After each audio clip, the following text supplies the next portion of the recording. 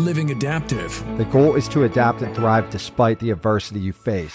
You're going to have to have that little voice inside of you trying to push yourself. I set a vision for myself, and now I'm seeing it come to fruition. I'm grateful for losing my leg. There's just some things you must endure in life. You might crash, you might fail. You can find a purpose in your suffering. I'm not special. I've just decided that I'm not going to stop. You do everything you possibly can. We want to change the world. I'm going to adapt to it and make it the way it works for me. Take what it is that from life that you want and enjoy it. All right, what's up, everybody? This is Living Adaptive. And if you don't know, man, just go to livingadaptive.com. You can get show notes, uh, previous guests, all kinds of good shit there. So go there. But today, we got Ben Huntzinger on, and this is our first time we're doing a video podcast. We usually just do audio podcasts only. So this is going to be really interesting. And Ben, thank you for first being the trial run on this because we do vlog a lot. We do get on the camera a bunch, but we don't get on the camera and do these interviews. So I appreciate you being here, man. Absolutely. I'm glad to be here. What an honor to be your first guest, man. Thank you. I'm yeah. here for everybody. Thanks, man. Yeah, we got we got like a ton of shows out, but we just never added video content. We are always just straight audio straight to the app. So anybody watching now, it's still going to deploy to the regular app, so you'll be able to see this whole episode, all the good stuff, uh, or hear this whole episode, all the good stuff there. But you won't get to um, see it through the app, of course. You'll be seeing it on YouTube, and then also we'll throw it out on uh, Facebook, and we'll start with those two. And if it works out, fuck, we'll just go with those. So let's see what we got going. Now, Ben, man, Ben Huntzinger, you make some noise, man. You make a lot of noise in the adaptive community. I've watched a lot of your videos, and so you do a lot of cool shit out there. And what you're most well known for outside of your own adaptive story is that you're building some shit, man. So, what are you doing out there? Right on, man. Yeah, I uh, I'm building the Spartan wheel chariot, and uh, what that is is it's a three quarter inch conduit mm-hmm. handmade wheelchair that I build on an eight acre uh, pecan orchard here in South Georgia. And um, it's 30 pounds. It's got rear suspension. It's got 10 inch by 3 inch front tires. You can literally roll this thing anywhere through anything. And the best part about it is I'm in this to help people. I'm in school right now getting my bachelor's in education to be a science teacher. Um, so I make wheelchairs and sell them for 500 bucks because everybody ought to be able to get a wheelchair that they can live an outdoor active lifestyle in. And that's what I'm about. You're kind of a no nonsense dude. You tell it straight. You know, you definitely went out there, put a product out there, but you probably hit a ton of roadblocks to get out there. I mean, making a chair for 500 bucks and this is an off-road chair and I've seen your chair in action, man, and it has rear suspension. Um, and we'll get into that in a second, but like what kind of roadblocks were you hitting along the way? Man, oh, where do I begin? All right, mm-hmm. so 10 years ago, I got paralyzed and I'm a T4 complete para. Mm-hmm. So I don't have any movement, nothing from the chest down. And um, when I first started uh, living the wheelchair world, I would, I would go out to the river where there was gravel, roots, mm-hmm. and rocks, and I would take my dog out there.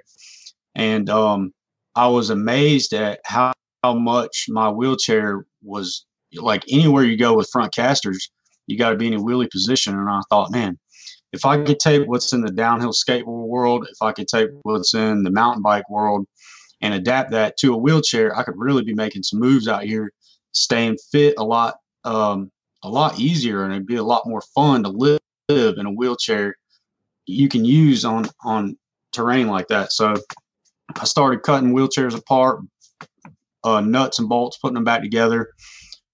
First wheelchair I ever built. Um, I took a downhill skateboard axle and put it under the foot plate, flipped it around, and was out in the middle of the river, fly fishing, hanging out with my dog, and was just living, you know. Yep.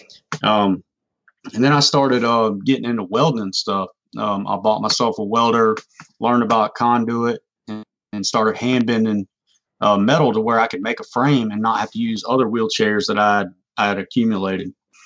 Um, and the point of me doing it from the get go was to be able to make myself something that was rugged that I could live my life in, right? Yeah, yeah, yeah. And I figured out a way to do it, and it only cost me two hundred dollars for all the material. And I've I've always said there should be a wheelchair like this on the market. So once I figured out how to do it, I, I'm sticking to it's an affordable price. It's always going to be, and that's what Spartan Wheelchairs is about. And I want to help people and that are living with wheelchairs or need them that you know can get out there and afford it. Now, here's a question for you, man. You talked about your adaptive story. We're going to get back to the chair, but like, what happened, man? 10 years ago, what happened? I got in a car wreck. I was going too fast around a turn, flipped the truck a few times, severed the spinal cord. Um, and immediately, man, I was, I was hit with this is what's out there. These are, these are the chairs. This is what's available. And I thought, man, this is crazy. You know, we've been to the moon and wheelchairs are like this. Hell You yeah. can go to you can go to Walmart and there's a, a mountain bike with full suspension, disc brakes, aesthetics for two hundred dollars. I thought, dude, this is crazy. So I started going to like Georgia Tech. I would hit up all these engineering uh, facilities and fabrication shops, and nobody really understood what I was talking about. Man, Mhm. most people they saw a wheelchair just thought, man, either this guy's just another guy in a wheelchair that isn't accepting his plot in life or is mad and is taking it out on everybody else. Yeah, yeah, yeah. Nobody could get what I was talking about. And after I would hear people say stuff on my, my journey, like just because other people don't, don't understand your dream, it's all right. It's not their dream. It's your dream. And man, for years I was putting together stuff and, um, just trying to, to get with the right people and finally connected one day in college. Two years ago, I went to a competition and won enough money to where I could buy a bulk supply of wheels from Spinergy, a bulk supply of uh, coil springs, all the tools I needed, all the welding equipment I needed. And a buddy of mine had a shop in his backyard and said, You can start building them here. And I did it. And somebody reached out to me and said, We'll build your website for you. And from day one, man, I've been, since I kicked off, I've built 70 of them since uh, May of last year. Um, and I don't have any plans of stopping. Man, that's a great wheelchair. Yeah, I agree. And then I don't think you have any plans of stopping it, of course, because I've heard, you know, some of the plans you have in the future, but the research, man, a lot of people, I mean, you're a rugged dude for sure, man. You got some neck tats, you got the whole thing going. Fuck, man. And then, but at the same time, you're out there hitting the stacks, man. I mean, you're literally out there working with some of the best technical universities and then researching what works best, including the rear suspension system, which I rarely see. And so like seeing what you've got and where you're going is pretty incredible, man. Your mindset though is definitely inventor. It's definitely, definitely entrepreneur mindset. So it's cool to see this because you don't see it a lot in this community and it's kind of really empowering. It's something that we just don't get to see much of. And I'm sure um, a lot of people have reached back to you, a lot of good feedback, man, for sure. But I want to go back a little bit into your recovery because just to help people kind of humanize who you are, you're not just this inventor that made this chair. You're also a guy that had to go through some tremendous recovery, man. What was the best stuff that got you through that situation when you were adapting?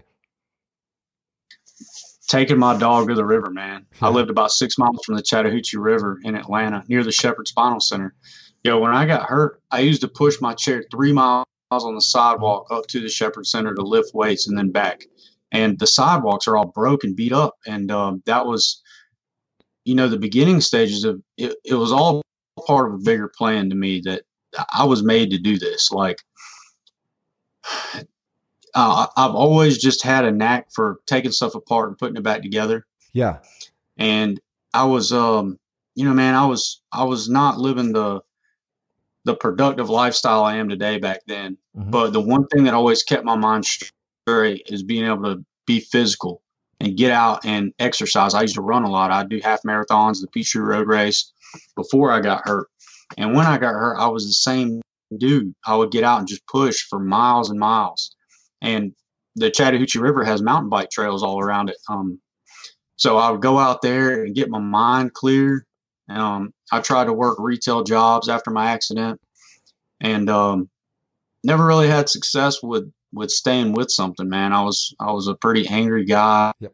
and uh, so anyways, I, I evolved into getting myself back into school and stuck with it. And um, I've always had this passion to be able to make a wheelchair that everybody can use like I do. Um, and there's nothing like to me being able to go out and go for a run and not not on a paved surface, man. I want to get out, in the woods. I like to hunt and fish. And from the get go, I was experiencing the way my wheelchair couldn't keep up with that. It wasn't built for that. And and um, dude, I did so much research when I first got hurt on the market, what's out there.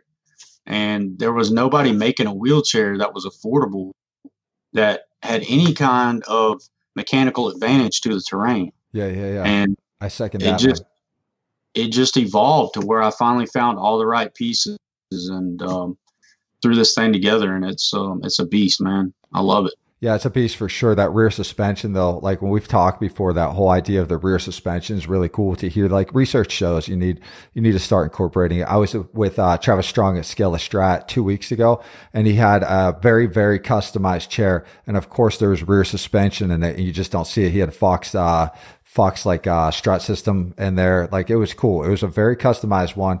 I'm sure extremely expensive, you know, and so like the fact that you're making these for 500 or selling these for 500 right now is already probably lowballing yourself because of you know the cost that it takes but at the same time the heart the heart for the community uh, because every time i talk to you or every time i see you post it's an emphasis of like you can get out there and do the shit i'm doing like you can go out there and hunt and fish and travel, you know, actually get off road on your own without a support crew pushing your chair or pulling your chair or anything like that, depending on your, what you're adapting to. You know, a lot of people have various, um, levels of um, adaptation when it comes to chair. And so like, um, depending what you can control. So it gets really interesting with what you got for sure, man. And, uh, I think that's really rad. Now I got to jump into this, man. Um, I'm sure it gets tough out there. Competition wants to eat you up and stuff. How do you, how do you stay driven, man? How do you stay driven to not listen to the naysayers? You know, from the get go, man. The very first wheelchair I ever posted was after Hurricane Michael came through, Mhm. and What year- uh, what I year was of my- uh, 2015. Mhm. One of my prototypes was sitting out in the front yard, and um, it, it survived everything. And I put a post out, and there was a lot of guys talking about, "Wow, look at the weld beads. You know, it's garbage, stuff like that." And I went in on them, man. I said, "Look, dude, this is a wheelchair that I I take anywhere. It's if somebody was with me like a film crew, I don't need to validate what it's capable of because I live it. Like Yep. it, if if it wasn't strong and capable, I wouldn't be putting this thing out there for people to use. Um, and it it gut checked me real quick that there's always going to be people out there that are there's like ten different kinds of of cars made. Everybody chooses what kind of car they want, but in the disabled world, somebody comes out with something different, and all these people want to start talking trash about it. And That's I'm like, dude, look at the life that I live with it, man. I go go out on the beach, I go through the mud, I do whatever I want. Um, and I'm trying to help people, and y'all want to talk crap about it. Um, but you know, I've learned that, that there's going to be people like that, and no matter what, man, I'm always going to have a wheelchair that I know how to build. That if I can get somebody to embrace how much more of a lifestyle they can live with a chair that's capable of doing the things that they want to do, not bound to what a normal wheelchair is about, man, I think I can change the world. I agree. I got to rewind though. You said something there, like, you know, in the auto community. Yeah, there's a little bit of shit talk. Like, I love Fords, I love Chevys, this, this, or that. But there's does definitely seems to be a, almost like a personal level in the adaptive world where like, uh, people can't accept that maybe, maybe their chair just doesn't work for another person. Maybe like yours, I see yours as an extremely independent chair in a lot of ways. Like you can do a lot of things with it off road, of course, but then like there's a lot of maneuverability, lightweightness to it and so forth. And that works for so many others, you know? And like the fact is, is like, we have a we have an issue right now in the adaptive community where we can't like embrace and support each other um, sometimes when it comes to this type of stuff, products and so forth, because there's so many people that got their hand in the motherfucking pot. And so like at the same time, like there's a lot of sway there, man. And like if we can get to a place where like, yeah, that's cool. We can have multiple devices. Competition is great. Remember that people using chairs, competition is fucking great the more competition we got, the better that product gets. And you're out there competing and building this out. And then I'm biased, man. When an adaptive, you know, a member of the uh, adaptive tribe is building something and innovating something or creating content, I'm in it, man. That's what this is all about. This whole podcast, everything I do, I don't take sponsors. I don't take shit for a reason because I want to promote those, the, the people that are like maybe smaller, the underdogs and see what they can do, man. And so I love that. I love this about this chair. Yeah, man. It, it you know, it's been crazy to me since day one. I never really met many other folks that were about building their own chairs. Mhm. And it it started with me after I was going from DME to DME learning what's on the market to to realize, wow, nobody's nobody has taken a wrench and a hammer and sat there and just started forging out their own stuff. And I'm not sure why a lot of people aren't like that. I, I guess it's all just personality stuff to where a lot of people just don't have that. They're not interested in doing it. But dude, as a community, wheelchairs should not be the price of a car. No. You can go to Walmart and get a mountain bike for 200 bucks. It should be the same with a wheelchair. It's the same amount of metal, everything. And these are things that we need every day. Um, so, dude, I'm all about taking to the limit what a wheelchair can be. And, that, dude, I'm passionate about it, man. It's my life. Yeah, once you start getting that game where it's, it's just outrageously because you've got a whole team that like overhead that you got to support. I mean, people are not benefiting, so it's really frustrating. I'm going to go further. I'm going to go right into the CPO line of things, orthotics, prosthetics, everything. It's just crazy how much they are right now. And I understand it takes a whole team, and you know, I have arguments back and forth. I have good friends in the field, very good friends. I'll be on the phone with one uh, really soon, and it's not necessarily anybody's fault. It's just what the market has driven it to at this point. But it kind of sucks because, like, at the end, there's like end users that I hear that struggle a lot and I have to wait for a grant to get the next product, and because it's just too expensive on their own dime, or maybe you know maybe their level of disability doesn't allow them to work at the same rate as others might be able to. And you know, it'd be cool. I'm not saying like let's get all like socialist in this thing, but like at the same time, let's have a little bit of sanity in the in the market. So.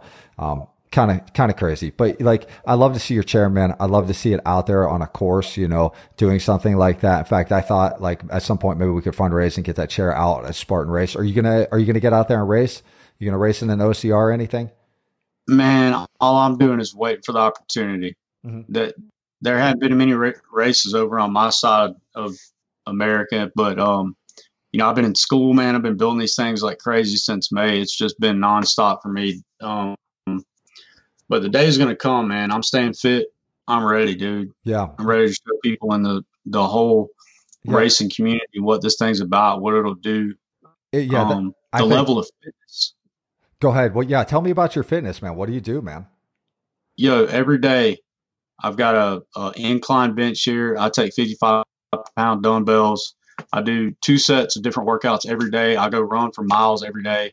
That's that's who I am, and that's who I've been since day one. yeah That's why I had to make a wheelchair that could keep up with the way I want to live. Yep. And this chair is a straight up animal when it comes to just rolling down a dirt road.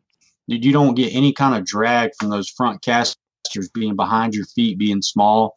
And I, I had to build this thing to where I could use it indoors every day. So this is my only chair. I take and throw it in and out of the back of the Jeep. It, you know, I live in an apartment. I use it in school, classes, anywhere I want to go.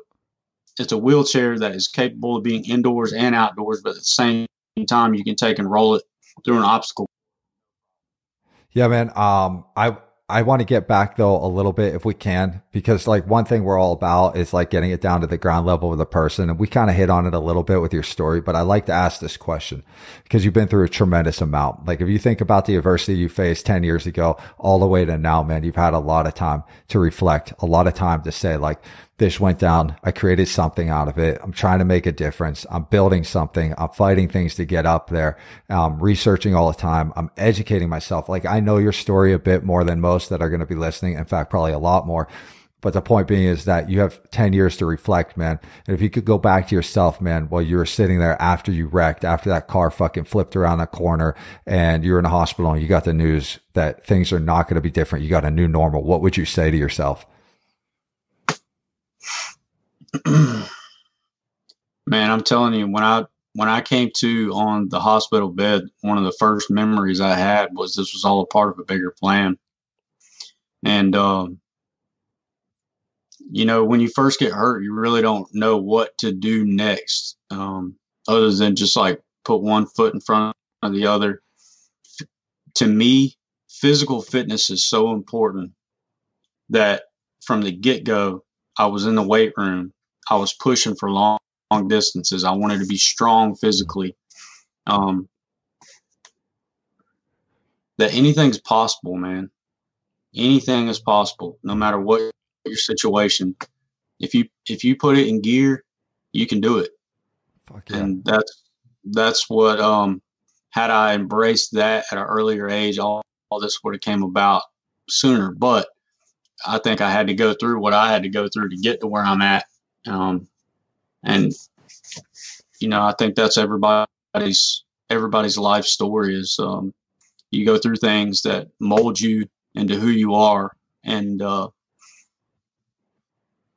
you know, there's a lot of people that when I was at the Shepherd Spinal Center, I kind of burned a lot of bridges there because I would go to the uh, the seating clinic and explain how I thought the wheelchair could be so much different. And I remember a therapist one time saying, you know, you're taking it out on, on us. But the way I saw it is you guys are making these cookie cutter wheelchairs, selling them for the four companies that like colors, TiLite, uh, top end and, um, quickie. You know, those are the four big dudes in the game. And yeah. those are all these therapists are promoting their stuff there. And I'm like, but where's the innovation at? Like where, where and but these are all people that are just trying to help people get from point A to point B. And I think a lot of people accept this is just where the wheelchair's at.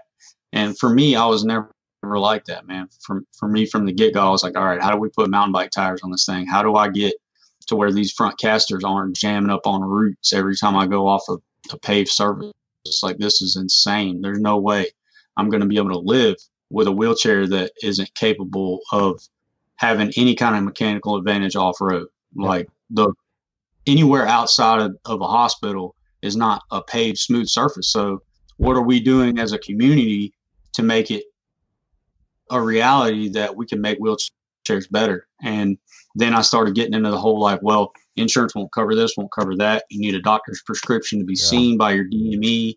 And I thought, man, whoa, hold on. I'm sitting here with a broke wheelchair and you're telling me I need an appointment for somebody to come out to the house and all this. And I thought, no, hold on, I'll just build my own.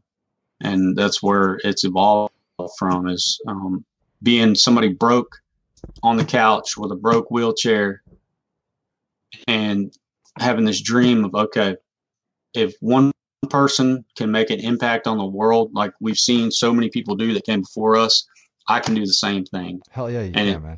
One day at a time.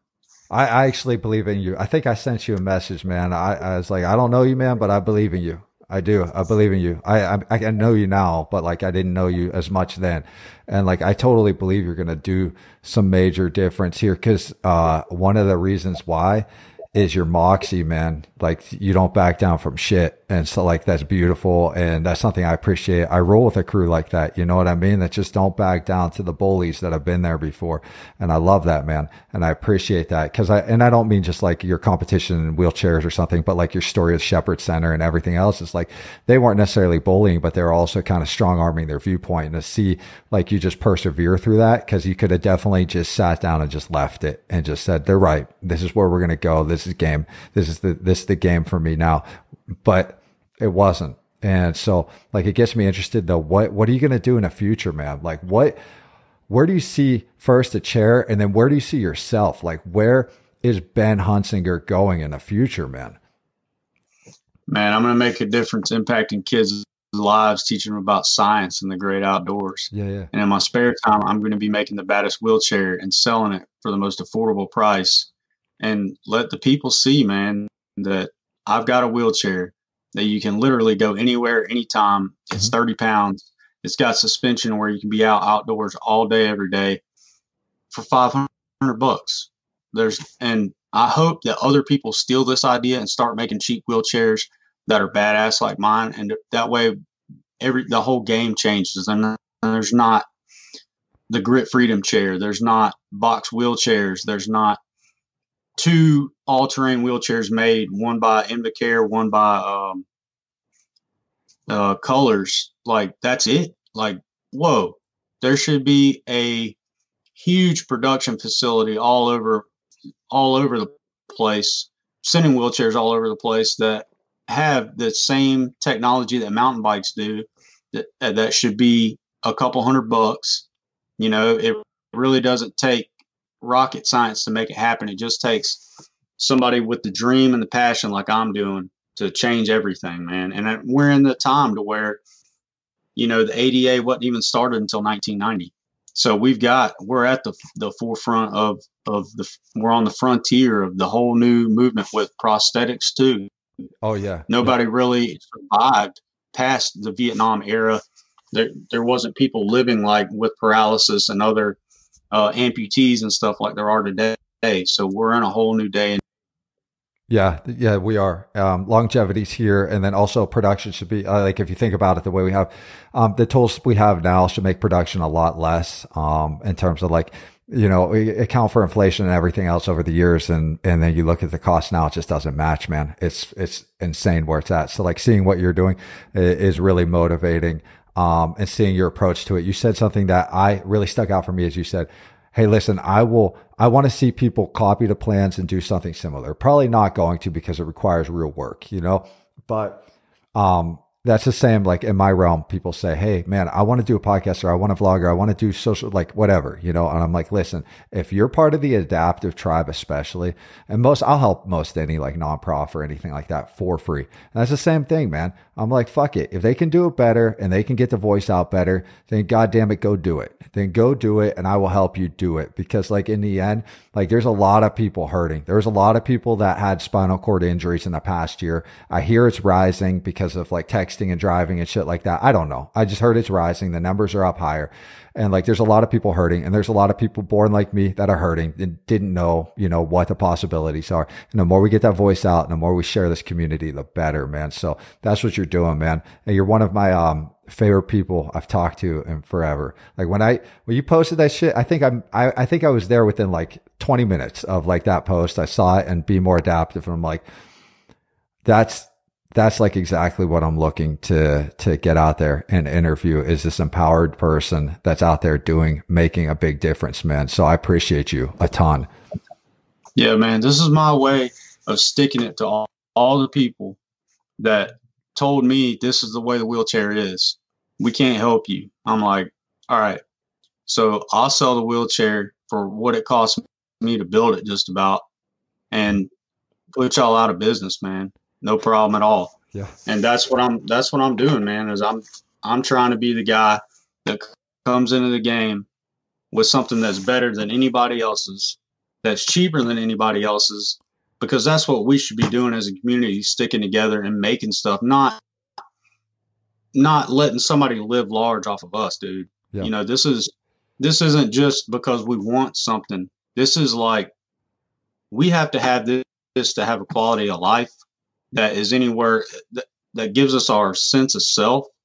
Like, dude, I'm not trying to make money off nobody. I'm just building a badass wheelchair because this is what I feel like I should be doing.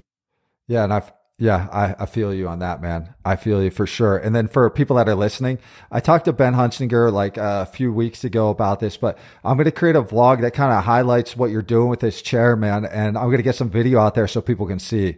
So it won't be just this podcast interview. You'll see more. And I don't get paid for any of this. In fact, I'd, I'd go fund me somebody for a chair. I'd help go fund it. I don't get paid for any of this shit. So anybody saying there's kickbacks or anything, not a, not a, not an ounce. So. Hell yeah, man. People can find me at SpartanWheelChariots.com, dude. I'm just a guy trying to make wheelchairs to help everybody out because I, I was that dude sitting there with nothing, no options. I didn't I didn't want to go out there and start using other people's equipment that I didn't believe in, dude. Yep. And there was nothing else on the market like it. Nobody's nobody's front casters were big enough. The the outdoor chairs were too big to take anywhere. So I built something that you can take you can use it all day every day. I use mine mine is my only chair. Um durability wise, dude, I wouldn't be selling this things if they weren't perfect. Um, yep.